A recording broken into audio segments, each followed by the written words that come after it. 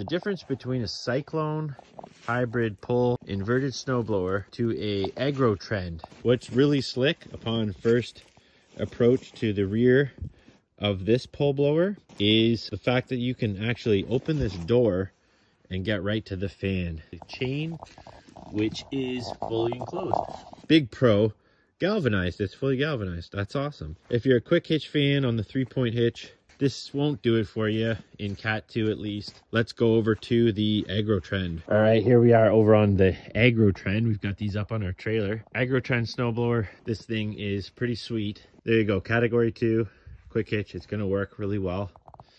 Fully enclosed chain just like the cyclone. So this is a very similar blower. Rear hatch over the fan. Rather than the thumb screws on the cyclone heavy duty latches. That is awesome hose management